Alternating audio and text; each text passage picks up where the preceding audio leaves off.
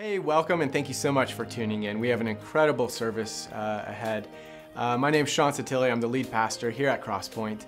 And if it's your first time joining us, I just want to invite you to go ahead and fill out a Connect card. We'd love to share some information about the church with you and uh, learn a little bit about you as well. This morning, we're going to be getting into a message titled Expansion. It's actually the title of the series we're going to be looking at over the next few weeks.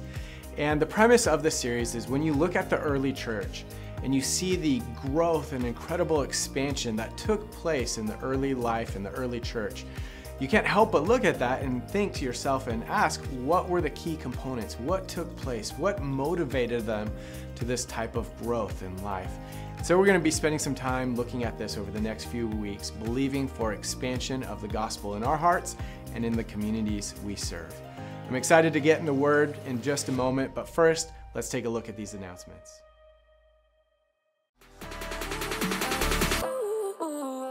Good morning, Crosspoint.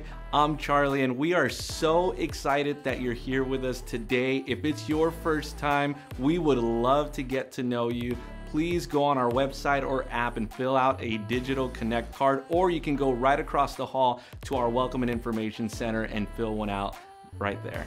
Our Welcome and Information Center, if you haven't gone there, it's new, it's fresh, it's open. Go check it out. It's a place where you can find information of what's going on here at Crosspoint, ways that you can get involved, different ministries that we offer. Please take some time to go over there and check it out. Now, today we have a lot of announcements, so stay tuned, and we have ways where you can get involved so let's go. Here at Crosspoint, we are all about drawing those who are far from God close to Him. And the way that we do that is by first knowing Him, growing together, and making a difference.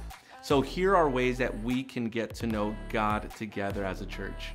Tonight, tonight, tonight, 6 p.m., you don't want to miss it right here. We are having a bilingual worship night we are going to have an amazing extended time of worship in God's presence. Come on out, bring your kids, bring your family, bring your friends. Let's all worship together. May 4th is the National Day of Prayer. And as a congregation, we will be meeting throughout the Santa Clarita Valley at different high places. Here are the locations and the times. Please take a screenshot, take some notes down. If, if, if it fits in your schedule, please come out and join us. And if you want to look at these locations and times again, you can go on our website, our app, and even across the hall at the Welcome and Information Center. We believe that God has created us uniquely to do community together and with Him. Here are ways that we can grow together. Legacy is our senior adults ministry here at Crosspoint. And this Thursday, April 27th, they will be getting together in the bridge at 10:30 in the morning. There will be worship, a time in the word, and fellowship. We hope to see you there. This announcement is for the women here. Spring is here and women's event is coming up May 6th Mark it on your calendar, 9 a.m. You will be speaking on growth. There will be childcare available from birth to third grade. You don't want to miss it. Here at Crosspoint, we have a young adult ministry called Forum. If you're from the ages of 18 to about 30 ish, you belong to our young adult community. And for those of you that join us every Thursday, you know about this. And if you don't, you're about to find out. For the past couple years, we've been gathering every Thursday night, 7.30 in the bridge to have our young adult service. Starting May, we will no longer be gathering every Thursday here, but rather we will be breaking out into what we're calling our forum groups throughout the valley. And it's our way of developing our community. It's a way of us growing to know God better, better in community, and so on. So if you want more information about that, please, if you're a young adult, come on out here. This Thursday will be our last Thursday in the current format. And it's also gonna be what we're calling Big Thursday. So come on out to find out what that is. And if you want more information, go on our app, website, or Welcome and Information Center. Young adults, see you Thursday. Spring small group season is right around the corner. Signups are available now. You don't want to miss this. We have a variety of small groups to pick from. If you want to find out which those are, go online, go on our website, go across the hall to the Welcome and Information Center.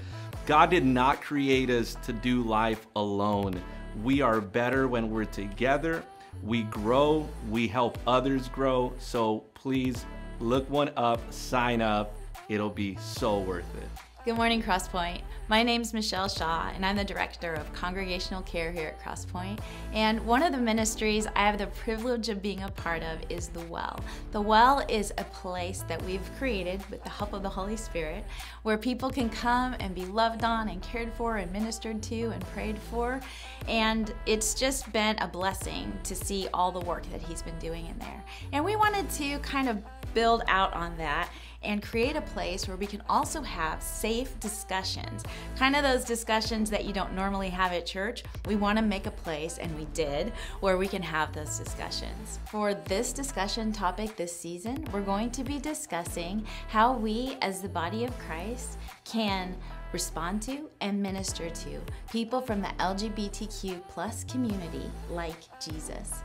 We don't need to agree, but we do need to have this conversation, and we would love for you to be a part of it. You can sign up for this group where you would sign up for any other small group on the app, on the website, or at our Welcome Information Center. Or you can email me at mshaw at crosspointscv.org.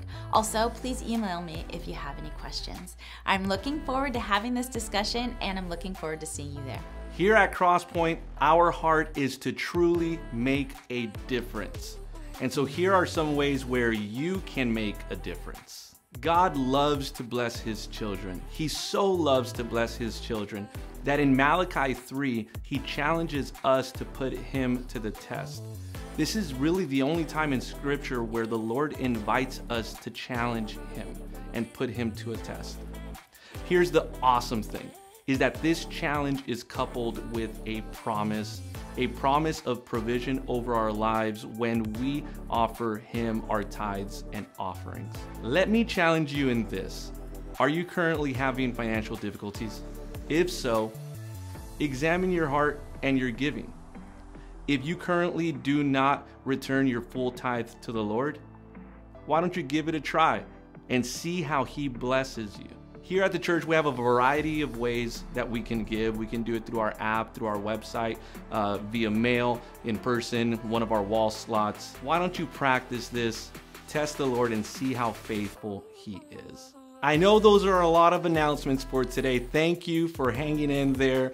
Please, if you want to revisit this information or if you want more information of what's going on here at Crosspoint, you can check it out online at our website, in our app, or you can go across the hall to our Welcome and Information Center. Welcome home. Enjoy the rest of service.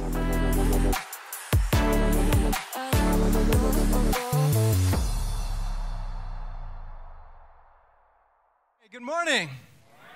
It is great to be together. And uh, as you just heard, there's a lot happening.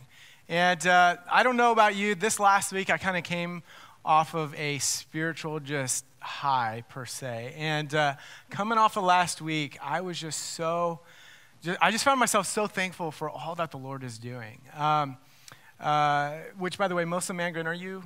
There we are. I want to invite you to join me. And while, while Melissa's coming up, uh, last Sunday was such a powerful Sunday. We had, uh, just as a praise report, we had 31 uh, individuals come to the waters of baptism last Sunday. 31 people got water baptized last Sunday.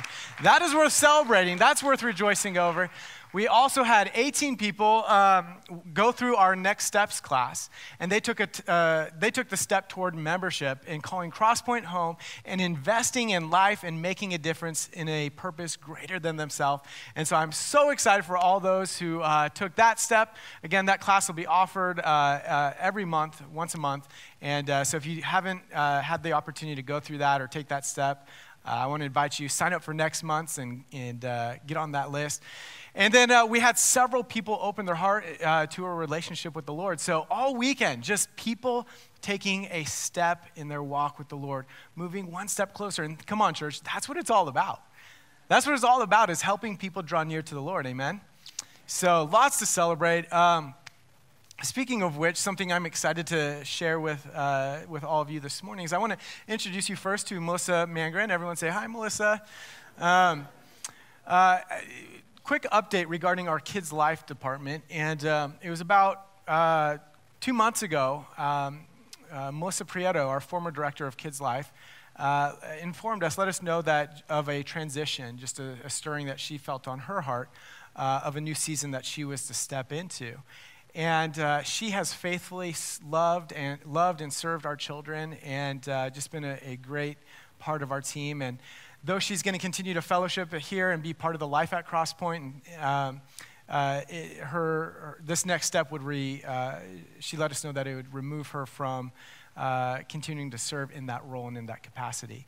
And so that left us in a place where we began seeking the Lord and just asking Him for clarity and direction as far as what He has for Crosspoint and for the, for the church. And uh, that's where he led us to Melissa Mangren. And so Melissa is joining our team, and, uh, or has joined our team now, and uh, has accepted the role as our director of Kids Life and will be leading our children's ministries. And so we are so excited.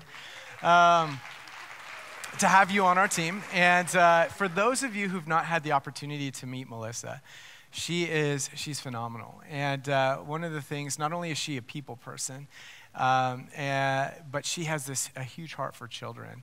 And uh, in addition to uh, uh, being li- a licensed pastor, licensed minister with uh, uh, even prior to joining our team, most recently working with junior hires, um, just in sitting with her and talking with her, hearing her heart for vision and direction for what's next. Um, I'm just thrilled as we enter into this next season and for all that the Lord has for us. And um, I just wanted to, uh, first, uh, Pastor Michelle, I'd like to invite you up. Pastor Michelle, who um, provides uh, uh, oversight to all of our, our Kids Life department, but I wanted to um, pray for you in just a moment. But before we do, um, I don't know if there's anything you'd wish to share, just even what the Lord is doing in your heart. And uh, yeah, go ahead.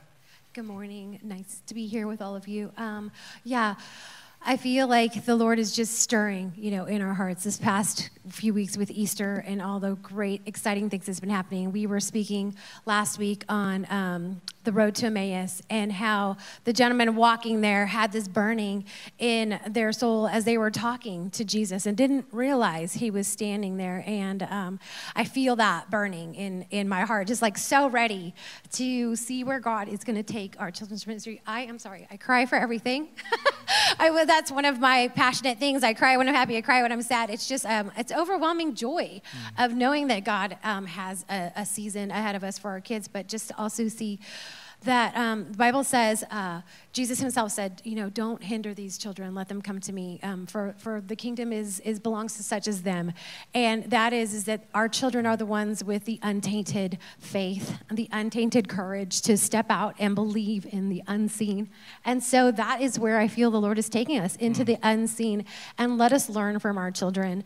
Um, and along with that, let's bring our families back to family. You know, let's, let's teach our children to serve alongside their mothers and their fathers and, and um, continue to show them what it means to raise them up. I am a mom of three, and um, I'm in a season of life where I'm letting some exit my life to be adults and, and learning that, using that to experience of knowing that there's so many things you're not prepared for as a parent. So let's get together and have, you know, parent groups so where we can encourage each other and share stories. Um, so, so many things we'd love to do in children's ministry. But along with that, um, we have Mother's Day coming up. So, Dad, I'm shouting out to you right now. Um, moms don't get the day off, so if you're a volunteer, have been cleared, please let me know. Um, we'd love to help moms uh, regroup for Mother's Day and have some time to just be able to sit in the presence of the Lord here. There was a statistic you shared last service. Yes. So something that um, uh, that I've I've come to understand is that our, our children see if they see their dad in church serving and participating with them, you have an 80% chance of them continuing on with the Lord in their adult life. Wow. And without their dads and out that visual, it drops down to 20%. So um, we already know that uh, the enemy is fighting for our families, he's fighting for our kids. Yeah, wow. Yeah, when I heard that, I thought, wow, what an amazing statistic and opportunity as well for us as parents and individuals to serve. And so we are uh, looking for individuals. If you're interested in serving with our kids' life department, now you all know uh, Melissa, and so it's a familiar face. And I just would encourage you introduce yourself to her. And we have a volunteer application online, but we could we would love your help. We'd love your support as we continue to pour into to the children and to this, uh, the, the upcoming generation. And so I'd like you at this, uh, at this time, I'd like to invite you to just extend your hands. Uh, I want to just pray over Melissa as she steps into this new season. And so, Heavenly Father, we thank you. We thank you. Lord, for uh, drawing Melissa to us and for, to this opportunity.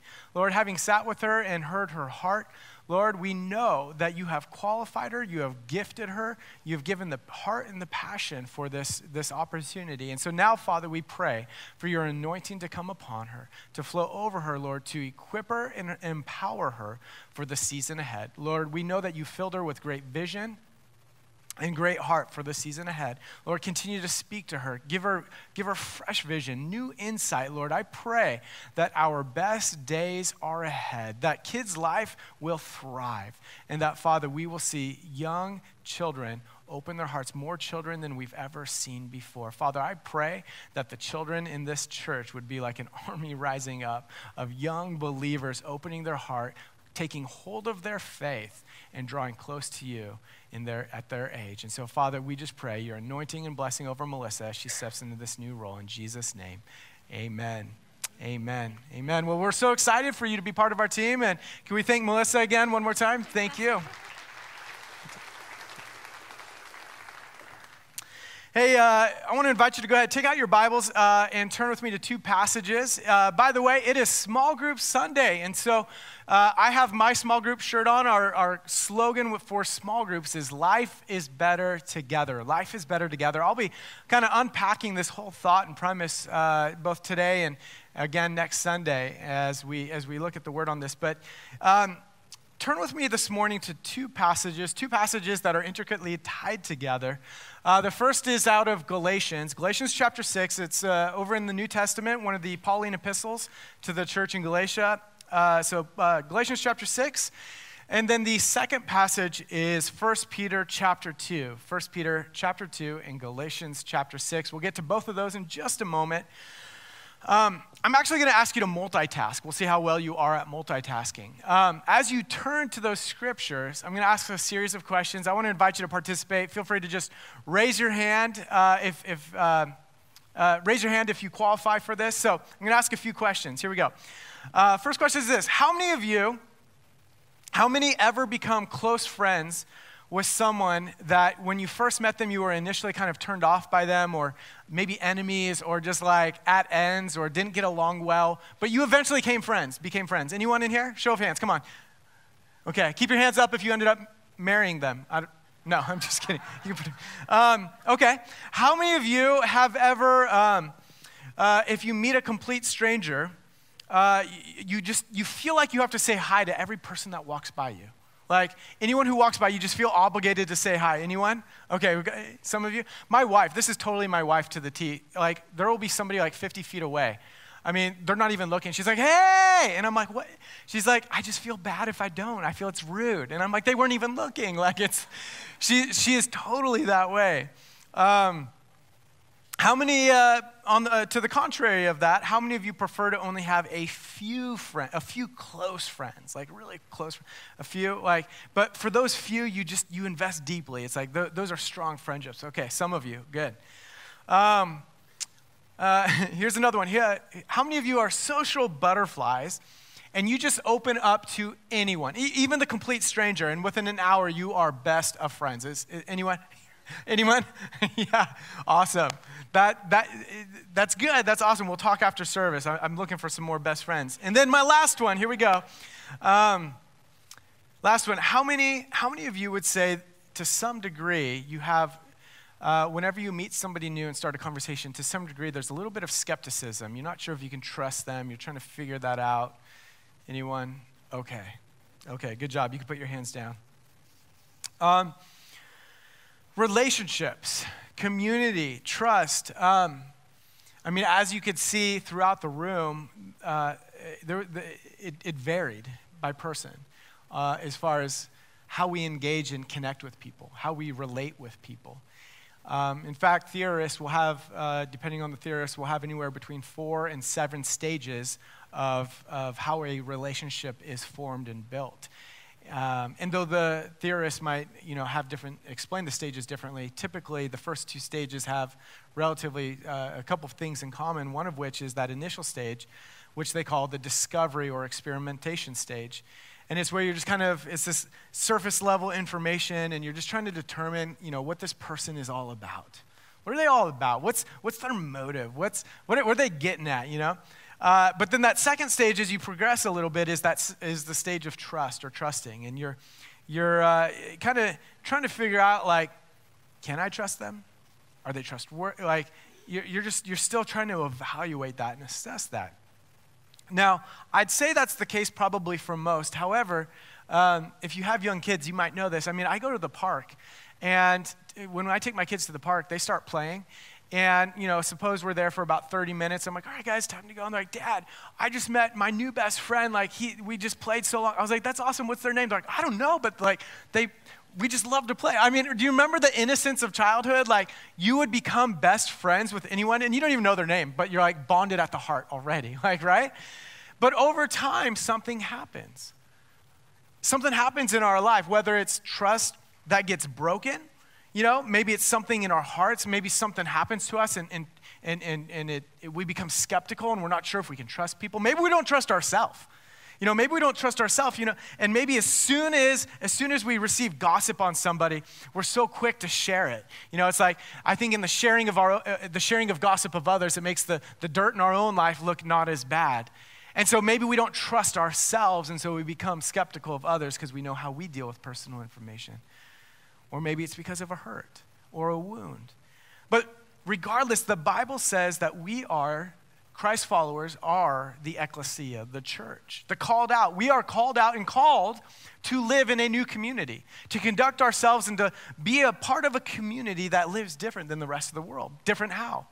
Different in mercy, in grace, in compassion, in love, in forgiveness, he says we're to be the ecclesia. This is the way God has designed us from the very beginning. The problem is, the problem is, is we know each other too well, and often we don't trust others because we don't trust ourselves.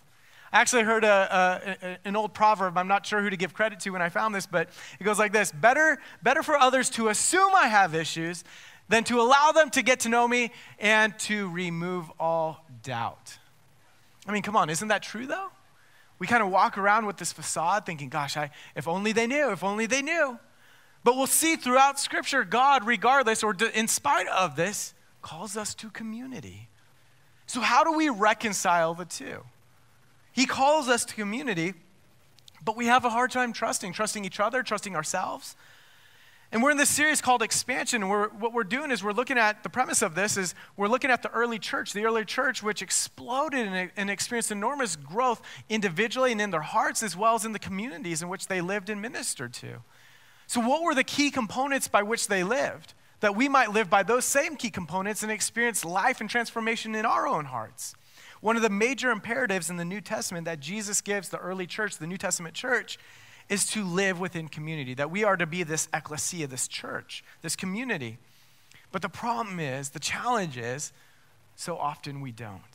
He says this in 1 Peter 2 9. He says, You're a chosen people. What does that mean, chosen? It means by unmerited favor, God has saved you, not by your own doings or works, but by His goodness and His grace, by His doings. He goes on to say, He says, You are a royal priesthood. What does that mean?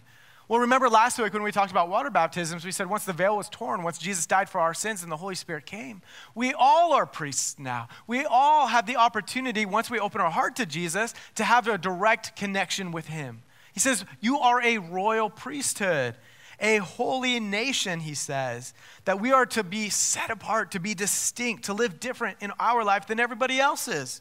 Not, not that he, he's not saying you have to be a perfect person or a perfect community but is there transformation that takes place 5, 10, 20 years down the road? And he goes on to say, he says, You are God's special possession. That you may declare the praises of him who called you out of darkness and into this wonderful light. Once you were not a people, but now you are the people of God. So you're a part of this community, To all who've opened their heart to the Lord and accepted Him as Savior, you're part of this community now. He says, Once you had not received mercy, but now you have received mercy.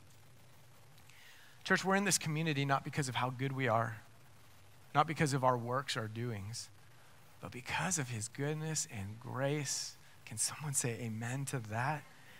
It's all about what He did. In fact, not only are we created for community, we were, we we were meant for community. I mean, from the very beginning, you see this, that we were created for this. See, God take, took two people, Adam and Eve, and He put them in this beautiful, wondrous place, a garden. And He gives them three commands, right? And He, it just, I mean, just three commands. And whereas today, so often people will approach Jesus and say, Gosh, you know, I've got to live by His, his, his, his precepts, these, these, these commands in life, and they're so restrictive. Rather than looking at our life and examining this and thinking, Gosh, maybe, maybe the Creator, my Creator, put these precepts in, in, in, place in such a way that I would experience the abundant life He created me for. As my Creator, He knows what's best for me. But we don't do that. We just say, oh, they're so restrictive. But not Adam. First commandment he receives is be fruitful and multiply. And he's thinking, man, your precepts are good. They are gracious. I'm going to follow them all the days of my life. I will obey them. Number two, it's uh, the second commandment do not eat from this tree in the center of the garden. And so you're thinking, wow, every single day, Adam and Eve, they're going to be faced with a choice of whether or not they're going to serve and worship the Creator or they're going to worship God's created things. See, every day they were faced with this choice. Do we worship God, the Creator, or do we choose to worship His creation? See, every day they were faced with this choice. And you say, well, Sean, God shouldn't have put the tree in the first place, in the middle of the garden to tempt them in the first place. Well, you know what that'd be like me saying? That'd be like me saying to my wife, babe, if you didn't want me to have an affair, you shouldn't have brought over an attractive person. Every day we are faced with a choice. I was in a conversation with a friend uh, many years ago, and he said, You know what? I wish God would have placed me in the garden. If He placed me in the garden, I wouldn't have sinned.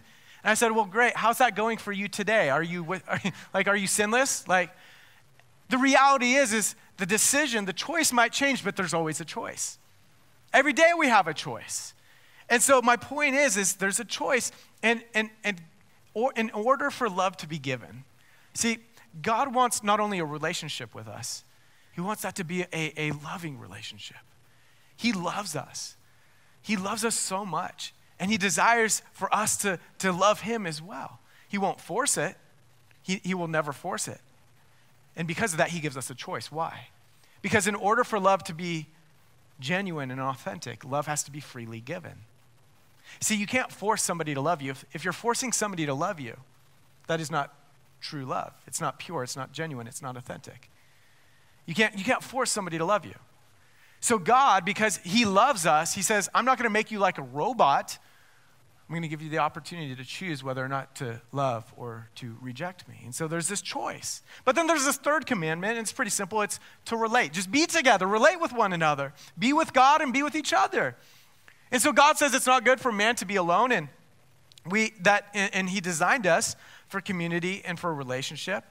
And so He calls man out of isolation into relationship, into community, in the same way He calls us to that. But, but, we have a hard time trusting. We have a hard time with trust. We have a hard time, and often it's because we don't trust ourselves. And God sees our heart. And even though He knows we have a difficult time with this, He says, I know that deep down inside, there's, there's, there's a longing, there's a desire for relationship. Deep down inside, there's, there's a longing for community, for friendships, for relationships. And so, how does God respond? He says, Listen, I, I, I, realize you're all wearing fig leaves. I mean, what did they do in the garden, right? They, they suddenly realized, after they sinned, they realized that they were naked. They were naked and ashamed. And he didn't, they didn't want others to see who they really were. And so they, I don't know, they grabbed these fig leaves and sewed them together in some Italian design, probably, and they covered themselves up. And that's where you see the first onset of masquerading, putting a mask on, hiding their true selves from each other. Now remember, sin not only separated them from God, but it separated them from who? From each other. See, that's the thing we forget. Sin not only separates us from God, but it, it, it, it tarnishes, it brings death into the relationships we're in the midst of. But God says, listen, I, I get that. But, I, but listen, I created you for community. I want you to be in community, in relationship with others. And so here's the three things that, that, that happen according to the Bible, especially in Galatians 6. We'll land there. Number one is this community is where we bear each other's burdens. Galatians 6 2 says, Bear one another's burdens and so fulfill the law of Christ. You know, I will never forget. Um, and, and, I've shared this before. One of the most difficult times was the passing of my younger brother. But I will never forget the community that drew together here at the church, friends, family members that came together and supported not only me, but, but, but my family through that time. Through community, through relationship. I like I looking back, I'm like, I don't know what that would have been like. I couldn't have imagined walking through that alone and isolated. You know, um, about 14, 15 years ago, I led a, a mission team to, to uh, Thailand. And while we were in Thailand, one of the things that we did is we went up to one of the hill countries called Mae Sot. It's kind of one of the jungle regions, jungle territories of, of Thailand. And while we were there, we, we were helping this, this small four square church with, with a building project. And one of the tasks for that day was, was relocating, moving this mud and dirt from one area to another area so they can build on, on this, this, this, this space. So, me and uh, one of the, the individuals on the team, his name was Anthony. Me and Anthony, we were, we were provided two wagons, or um, two wheelbarrows uh, to, to help us in the moving of this mud. Now, these two wheelbarrows, you'd think this would be a help, but one wheelbarrow, the tire was flat and there was no way to pump up the tire. And if you've ever pushed a flat wheelbarrow, it's just, it's, I mean, I don't know, it's incredibly difficult. And then the other one had a crooked wheel. So this thing wobbled as you pushed it. So, all that to say, this day we go out there, we're moving mud, and it is pouring down rain. Not like California rain, but like monsoon rain, just downpour, and we are soaked. And this mud, which is not really mud, it's more like clay. And when you get clay wet, and it's just, it, it is heavy, it is sticky. And so we're moving. We had to load these wheelbarrows full of mud, push it up this hill, and then dump it, and then go back down the hill and, and do that over and over. And I just remember there was this moment where I, I got up to the top of the hill, I dumped my wheelbarrow, and I'm looking down at Anthony.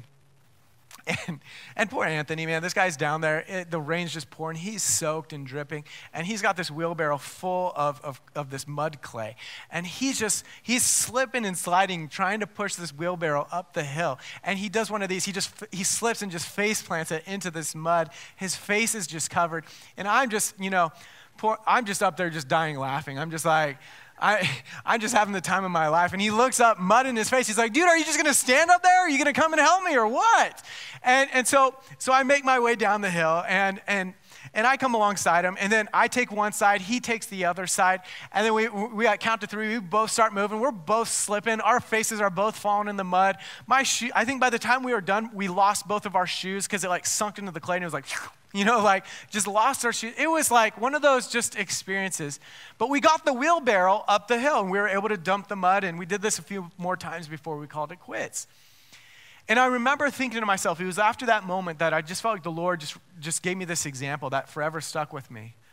That if we're going to bear each other's burdens, you can't bear each other's burdens from a distance.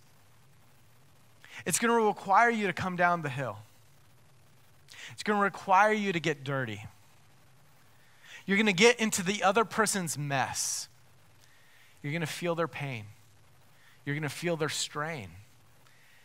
You're going to distribute the weight evenly so that you can make it up, help that person make it up the hill that they otherwise wouldn't be able to make it up. But you're going to have to, you're going to, have to lift a little bit. You're going to feel some weight. You're going to feel some strain. Might be messy. Might cost you something. Listen, nobody can rescue a drowning person from the shore. I mean, you can't, you can hey, swim harder. Like, like, how are you going to rescue somebody from a distance? I mean, unless you had a really long rope and a great throw. You can't. You have to get in the water. And, and, and you have to get cold. You have to get in the water. You have to be willing to risk it because you know if you're going to rescue a drowning person, when you do that, what might they do? They might hit you because they're, they're wailing, flailing, their, their arms are swinging. They might knock you out even though you're trying to rescue the drowning person. You might get knocked out. It might hurt. It might be painful. It might require, of you, require something of you. See, bearing each other's burdens is not a, a matter of convenience.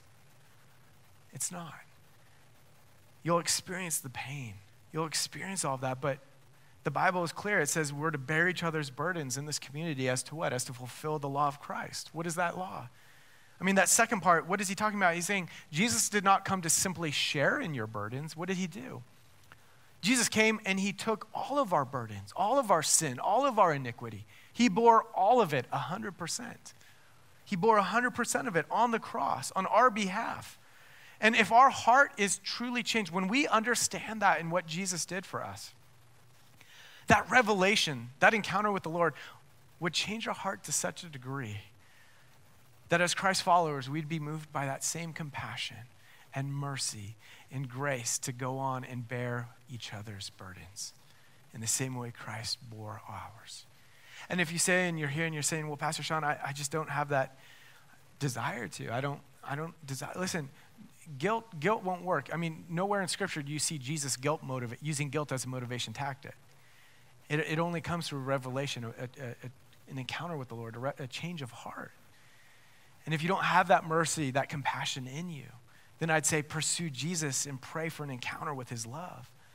And, if you do, and, and, and as you do that, sooner or later, you'll realize something. Sooner or, or, sooner or later, you'll realize whether or not you're in deep community or shallow community. See, there will come a point in everyone's life. I don't know what that point is for you, but often the point that brings it to revelation is through a trauma or experience. When a trial comes into your life, See, trials have a way of revealing things about us. And one of the things the trial uh, will reveal is whether or not you're part of a deep community or a shallow community. See, if you're part of a deep community, a community that you've invested deeply in with grace and with love and compassion and mercy that you've poured yourself into, then when trial comes, you'll experience that support. My friends Nick and Kayla, they, um, they have a, after having their own child, they went on and they said, you know what, we have a huge heart for children we want to foster. And so they started going through this foster care training program. And while they were going through that, they got a call. They hadn't even uh, totally finished the training. They got a phone call. And they said, it was from the foster care system. They said, you know what? There's a, a, a, a little girl. This little girl, she's eight days old. She's eight days old. Her mother has left her in the hospital. We can't find the mother. The mother was, was a drug addict. And so this little girl, eight days old, is, is having withdrawals. She's withdrawing off the drugs her mother was on. We have no one to take her in. None of the, uh, any of the other families we've called, they, they won't, they won't, didn't have availability. Would you be willing to, to take her in?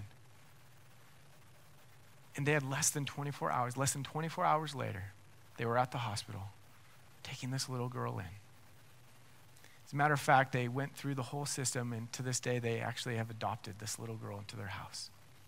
Every child they take in, and they, they continue to foster other children, every child they take in, they, they, they, they have this child, and whether it's for one week or three months or however long, they say, we, we feel it's our mission to tell this child, you are loved, you are chosen, you are special. God has a plan for your life. He created you with purpose. And we pray over that child. We dedicate them to the Lord because we know God loves this child, and this might be the only love or opportunity for Christ's love that they come in contact with for some time. But I share that story because when you invest in deep community, when they, when they had 24 hours, less than 24 hours to take in this little girl, they started reaching out to their community. And within 24 hours, they had a crib, they had strollers, they had diapers, baby clothes, like the whole, everything they needed. This community rallied together and, and helped them get everything they needed to take care of this little girl. See, I don't know at what point in your life this might occur, but there will be, there will be a point in your life, and you'll have this aha moment on whether or not you've invested in deep community or shallow community. Deep, deep community being one that is a dispenser of grace and love and mercy, and you're, you're living life through small groups. Listen, I really believe small groups and, and community groups is where transformation best occurs. And we'll talk more about that in a moment. But whether you've been in this general group or general community, or you've invested deep in people's lives, listen, you can't, you can't do that from a distance. And if you invest in, in community from a distance and it's a shallow community, then when you're in a time of need and deep, deep trial, deep conflict, you'll get a shallow response. Oh, well, maybe we'll help you. Maybe we'll do that. See, Luke chapter 6, I mean, the Bible talks about this. There's a cause and effect. It says, Given it will be given to you. A good measure, pressed down, shaken together, and running over, will be poured into your lap. For with the measure you use it, it will be measured to you. What's he saying? Jesus is saying, Listen, this isn't rocket science. To the degree you invest in others, is the degree to which, when you're in that time of need, you will experience returned unto you. And if you're in that point and you've never, you've never invested, then that community will not be around you when you need it most.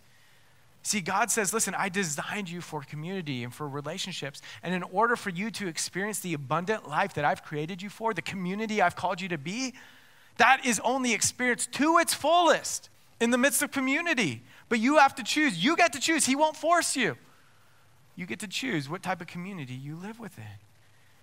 And see, my question this morning is this See, you can't walk with God if you're not walking with God's people. And so, my question this morning for you is this whose, whose burden are you bearing? Whose burden are you bearing? Whose burden are you carrying? Who, who are you willing to lay it all down for to help in a time of need? Who are you willing to jump in the water with? Who are you willing to get muddy with? Who are you willing to risk it all for? Maybe it's a person in your friend group. Maybe it's a person from a dis- that, that you're just getting to know. Maybe it's, maybe it's your one life, that person far from God that you're praying for to draw near.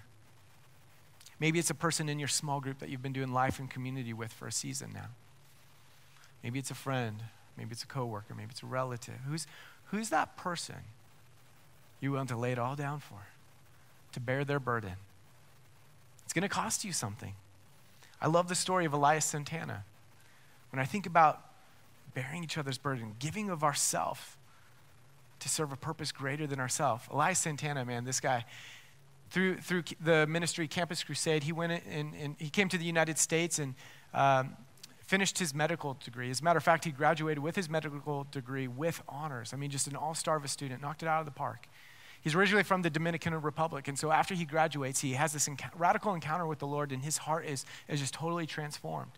And he knows and he feels it on his heart that the only way he can truly be a Christ follower is if he, he lives beyond himself and gives to a purpose, if he makes a difference in the lives of those around him. And so, how does he do that?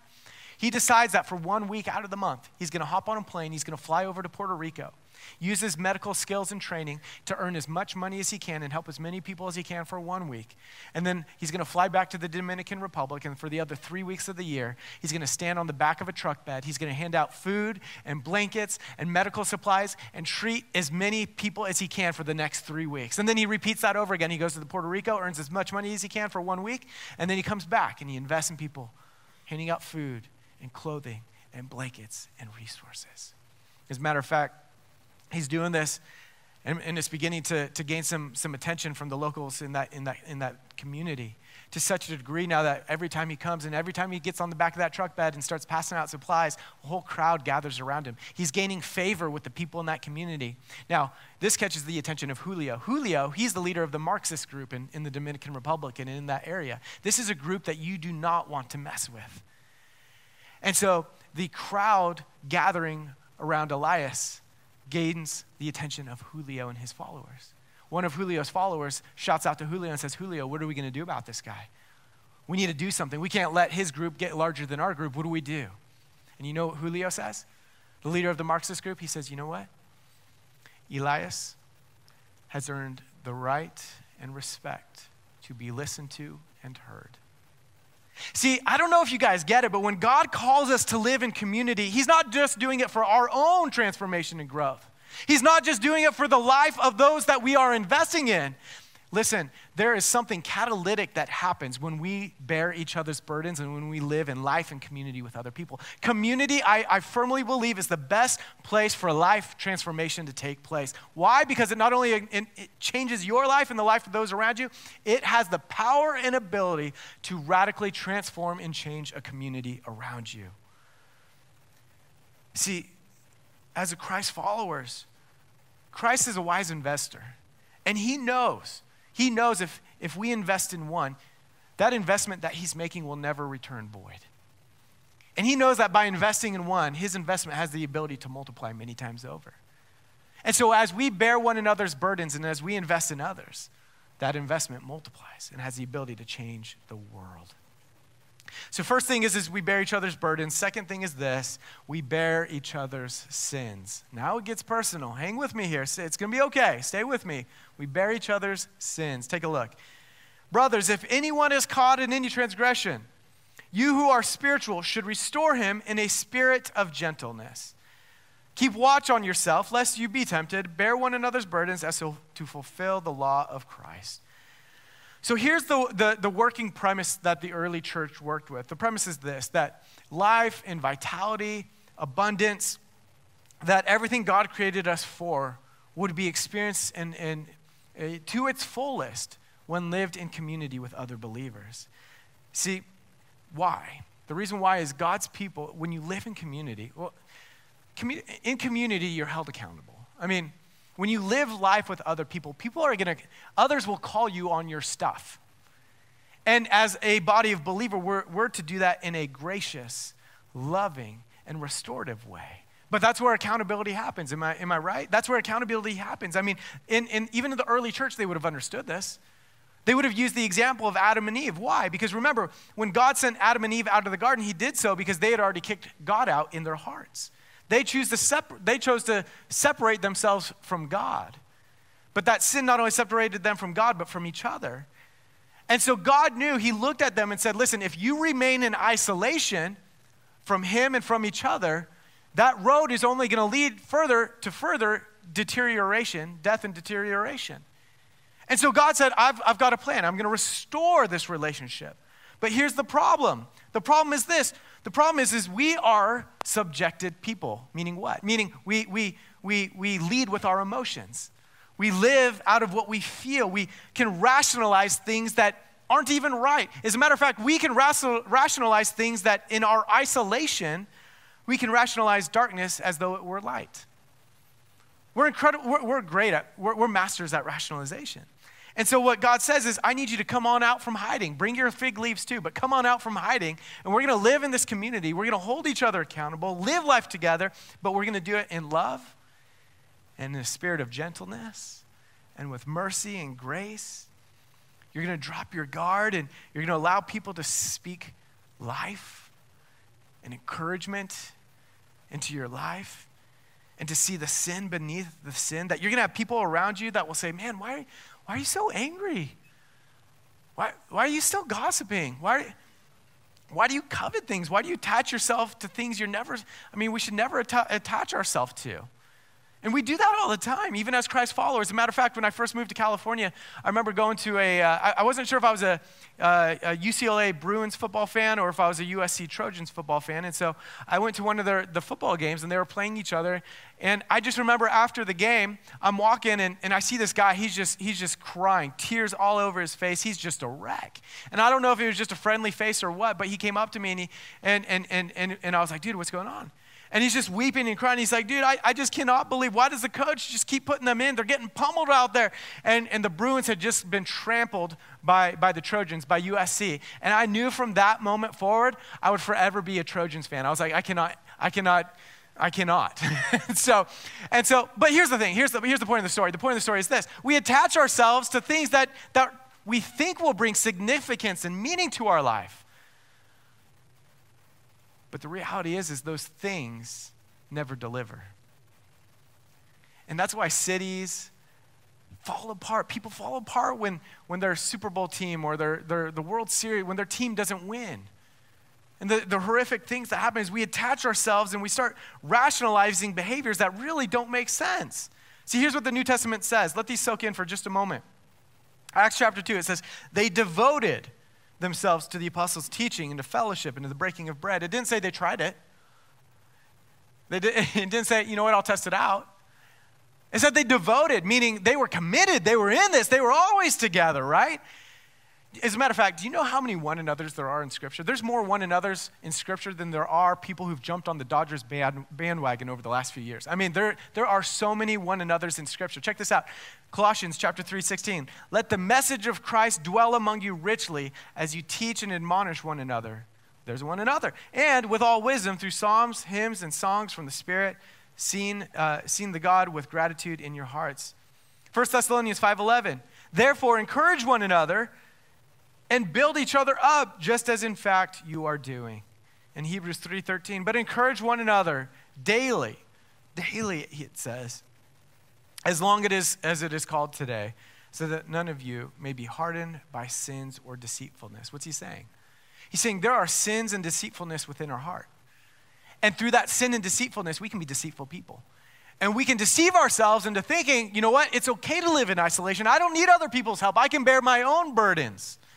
As a matter of fact, I don't want to bear other people's burdens. See, when you're, when you're thinking about living in community and bearing each other's burdens, it's also about who you're living in that community with. See, Hebrews 10, it says, Let us consider how we may spur one another on toward love and good deeds, not giving up meeting together as some are in the habit of, of doing. What's he saying? He's saying there's some who are not going to want to gather. There's, there's some who want to do it on their own. They think they can do it on their own. See, being a part of a community, listen, church, it's going to cost you something. Stay with me here. It's going to cost you something. It, it, it is. James 6 16, it says, Therefore, confess your sins to each other and pray for each other so that you may be healed. Pray. The prayer of a righteous person is powerful and effective. Listen, the reason why the New Testament writer goes over this over and over again is because he knew something.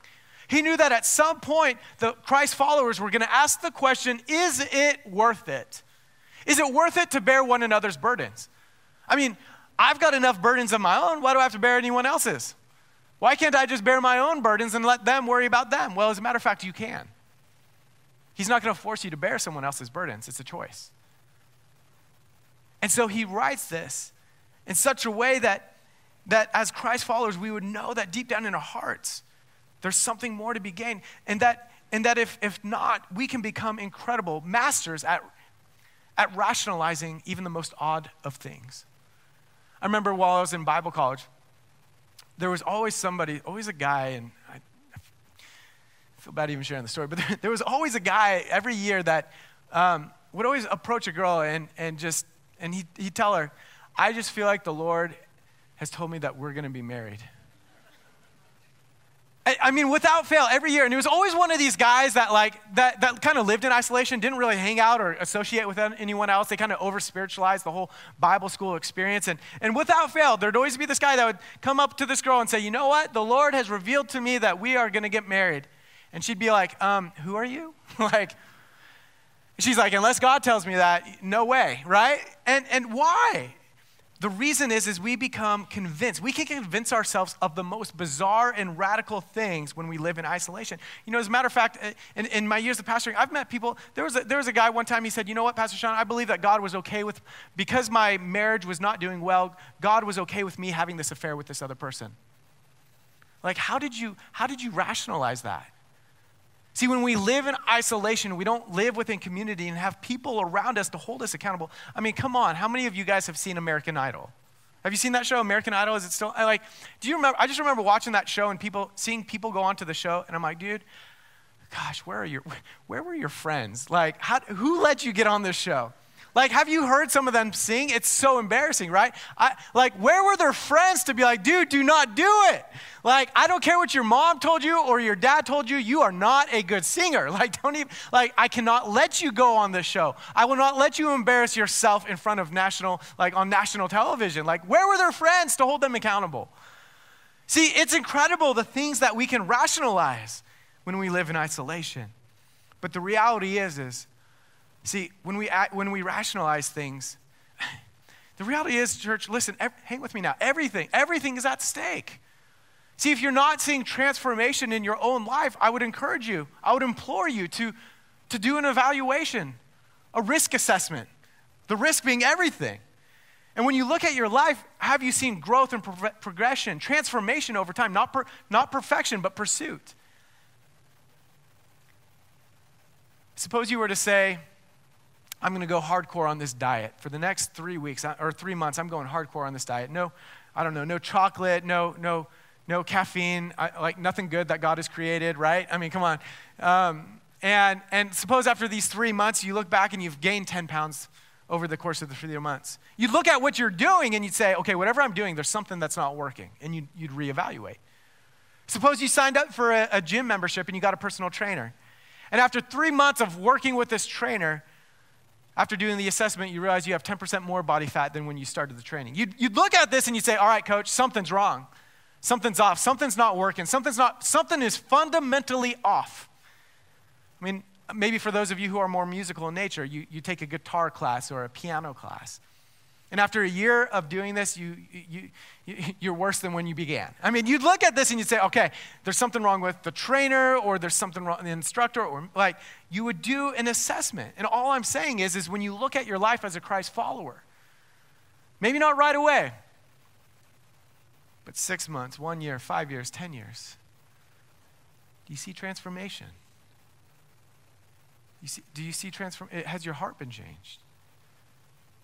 One of the indicators of transformation in heart change is the willingness and matter the desire to, to, to help, to bear each other's burdens, to clothe the naked, to feed the hungry, to go after those who are far from God, to be a dispenser of mercy and grace in grace in a world that otherwise is not.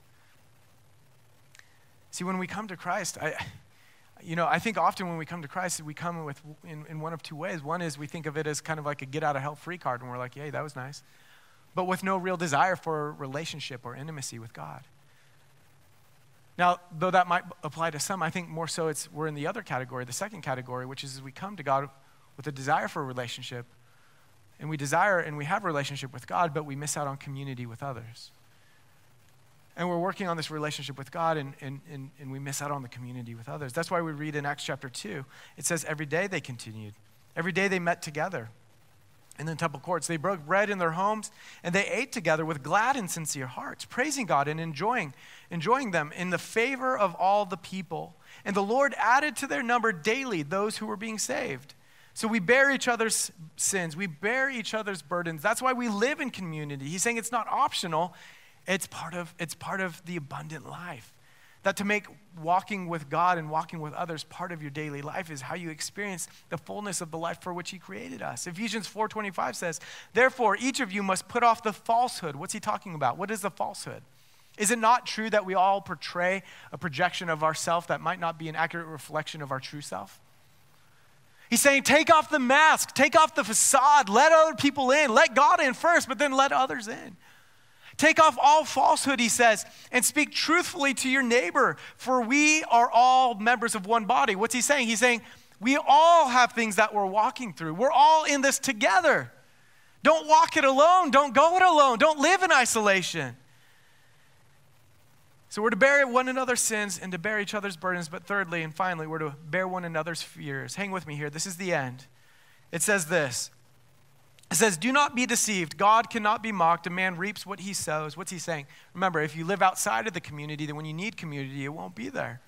It says, Whoever sows to please their flesh, from the flesh they will reap destruction. Whoever sows to please the Spirit, from the Spirit they will reap eternal life.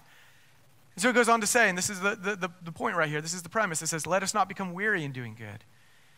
Let us not become weary in doing good, for in the proper time we will reap a harvest if we do not give up. What's going on here? There's a, it's a beautiful passage, so rich, so much going on here. But I want to point out one thing. Number one is this Have you, see, Paul knew we would ask the question is it worth it? Is it worth it? I mean, Pastor Sean, I've got enough burdens of my own, enough issues of my own. Is it worth it? Is it worth it? See, when I think about the story of me and Anthony pushing that wheelbarrow up the hill, that could have been a story written of one man's failing and fault of a lack of accomplishment, of his own strain that ended in failure. But instead, it was a story written of two guys coming together who accomplished a, a, a task, the task that was set before us. not only was the task accomplished, but a memory was formed, a story was written, something that we will never forget. We will go on to share among each other and among others. And we each have this choice on whether or not we try to bear our own burdens and write our own story. Whether or not we're going to try and stress and strain and push this wheelbarrow up the hill full of mud that needs to be emptied. We all have mud in our life. But we need somebody to bear that dirt with us, to bear our burdens, to help us through those difficult times. We all have this opportunity, we all have this decision. But I also believe, as, as the scriptures unpacked, I believe it was a foreshadow. A foreshadow of what's to come and what was talked about in Revelation chapter 21, which is what? That one day there will be a new heaven, a new earth, and one day there will be no more death, no more weeping, no more crying, no more mourning, no more pain. That the old order of things will have passed away. You know, when I think about this, I, I remember, I remember summers back up in Oregon, and during summers we'd go out, we'd drive down uh, the highway down to the Tillamook Forest. You know, if you heard of Tillamook cheese, that's where the factory is. But we'd drive down into the forest, and there was this place, kind of a hidden location, where they had this this footbridge. And this footbridge uh, was it was a walking bridge that would, would take you over this this span of water. And I remember during the summers, it'd be hot, and me and my friends would go out there and we'd stand on top of the bridge and jump off into the water below. Then sometimes we'd climb up the cliff on, on the side of the cliff and we'd jump from the cliff down into the water. Sometimes, if, if, it was, if we could find them, there were these vines that would grow on the trees, and you could swing like Tarzan from these vines into the, into the water below. It was amazing. In the Bible, the word used to describe trust, the root of this word is careless. See, what I've realized is that as I've gotten older in life, I've become more or less less careless. See, if I were to go to that footbridge today, I'd look at it and I'd say, you know what, is the water deep enough? Is there any rocks under there, guys? Before you jump, check for the rocks. Is the vine strong enough? Is it going to hold? Or is it going to break on me as I begin to swing? See, when I was a kid, I'd, I mean, the only way I knew it was deep enough is because the person who jumped before me made it, you know? Like, it's careless. But as we get older, we, we become so hesitant. And, but isn't that how we are in our relationships and community? We become cautious and we're weary and we're, well, let me check the vine first. Let me test this and let me. To the point where we don't even engage, we don't even make the jump anymore. God's saying, come on, make the jump. Have you gotten to that point where your trust in God almost seems, in comparison, careless? Where your trust in God is to such a degree that you'd say, God, whatever you ask me to do, I will do it. Wherever you ask me to go, I will go. Whatever you ask me to lay down, I will lay down. Why? Because I've seen your faithfulness not only throughout Scripture, but throughout my own life. I've tasted, I've seen that it is good. Have you gotten to that point in your relationship with God where you trust Him to such a degree that your faith almost seems careless? Now, I'm not talking about standing in the middle of the street. I mean, listen, there's no cure for stupidity, but what I'm talking about is are you willing to go wherever He says go? He's got an abundant life for each and every one of you. That's what I'm saying. He has so much in store for each one, every one of us, and we've we, we, we hang on so tightly. We hang on so tightly because we're afraid of what we don't know. And we've become so cautious that we begin to live in isolation and we miss out on the abundant life that God has called and created us for. And I'm simply saying if you want to experience all that He has for you, will you take that leap? Will you make that jump? experience community, live life together. Life is truly better together, church. It is. That's why he says, one day it's as though there's a, a new Jerusalem coming down out of heaven from God, prepared as a bride, beautifully dressed for her husband. What's he saying?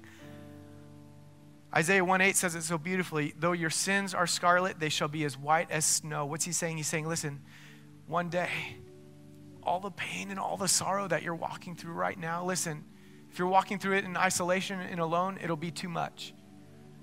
When you walk through it in community, can do it. But even, in, even the fear, even the isolation, even the sin, even the hardship of what you experience now, church, listen, what he's saying is, is one day, it'll all be wiped away. He's blessed us and gifted us with the gift called community, the ecclesia, the church that we're called to be. He's saying this is going to be a support system for the now. But one day, one day, it'll all be restored. It'll all be restored. That's why he says in Matthew 13, let us let both grow until the harvest. And at the harvest time, I will tell the reapers, gather the weeds first, bind them in bundles to be turned to be burned, but gather the wheat into my barn. What's he saying? He's saying one day, one day, the community of believers will be gathered up together.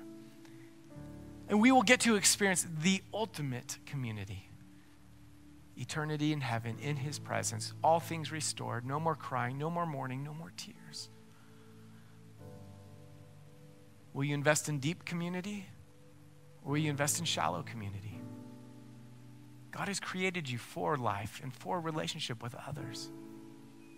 Approach Him with almost like a childlike faith, a careless trust, because it'll be in that community where life transformation occurs, because it's in that community, in those small groups, that life is truly better together. Amen. Amen. Let's pray. Heavenly Father, we thank you for your word. Lord, I know that so many of us Lord, so many of us live in isolation. Lord, so many of us have tried to push the wheelbarrow up the hill and we're on our own and we're stressing, we're straining, and we, man, Lord, we need community. Father, I pray that at some point throughout this morning, your Holy Spirit has just stirred something up, revealed something to, to each one of us. The incredible value and importance of community. That, Lord, we all need it. Not only do we need it, but Father, that we were designed for it. Lord, we want to experience everything that you've created us for, every, everything that you have for us. And within each and every one of us, there, within every one of our fibers, there is purpose. There is, there is, oh, gosh, you created us for, with great plans. And Father, I believe that it's in that community that we discover the fullness of those. It's in those community those places of community that, Father, our rough edges are smoothed, that the diamond is polished and refined, that we truly reflect the image of Christ, our Savior, in those moments. So, Father, refine us. Lord, we, I, don't want, I don't want any impurity in me. I don't want any rough edge in me to hold me back, God, from anything that you have for me or for, for our future. And so, Father, for all of us, may we have that revelation that, Lord, we want to go. We want to go. Take us. Lord, we go with a, almost a careless trust. Lord, lead us. Take us into the purposes and plans that you have for us. Let us push forward towards that goal, not letting anything hinder us from what you have. Because, God, I believe you are calling this church to be an influence in this community, in the lives of others, those who are far from God. To, you're calling us to draw them near. You are, we are your plan A for helping those far from God draw near. So, Father, I pray that we would know you more and that we would grow together in groups, that as a result, we would make a difference in the lives of others in the community in which we serve.